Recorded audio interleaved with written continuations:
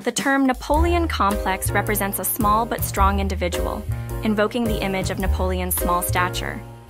Indeed, there are even stories suggesting that his height was 155 centimeter. However, the actual height of Napoleon, measured during his post-mortem examination, was 168 centimeter. Given that he died in his 50s when his height had significantly declined, it is plausible to estimate that he could have been around 170 centimeter in his 20s and 30s. In conclusion, Napoleon's height was actually 4 centimeter taller than the average height of French people at the time, which was 164 centimeter. Considering there was not much difference in the average height of other Europeans at that time, Napoleon's height was at least average, if not more, among all Europeans.